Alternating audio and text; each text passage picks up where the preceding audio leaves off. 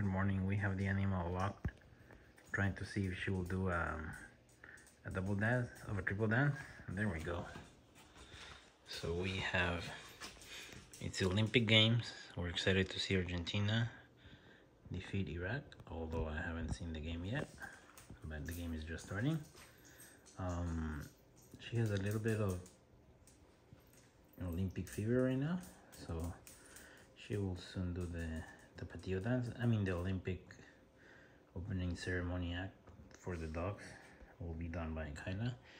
So we will try to see if she's going to do the tapatio dance. There's one 360 dance blast stretching. Whoa. she's ready for the Olympics. Now she's super happy. Uh, we're gonna start have a good day today. And obviously we're going to start with a walk Kyla. So I just wanted to film my dog and see how excited we are about the Olympics.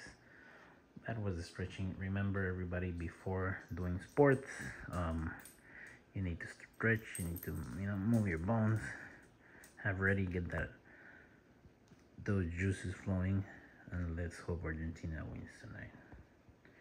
Today, I don't even know, 6.30 a.m. Pacific, 9.30 a.m. Eastern. So we're waking up early to see Argentina win.